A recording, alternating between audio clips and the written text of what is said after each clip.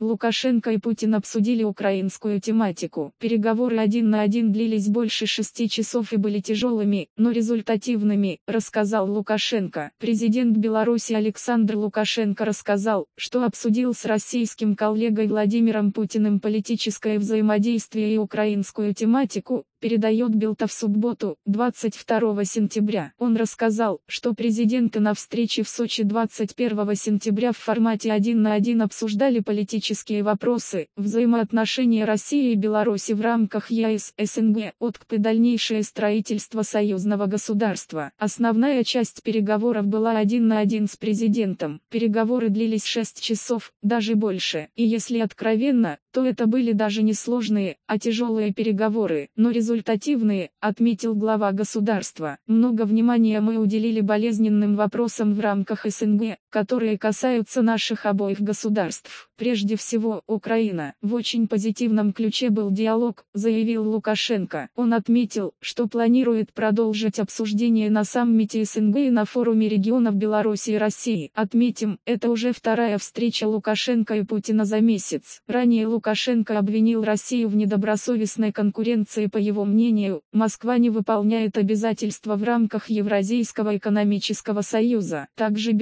белорусский президент поручил бизнесу найти замену российскому рынку. Новости от корреспондент.нет в Telegram. Подписывайтесь на наш канал и https По материалам сайта Newsgro.com.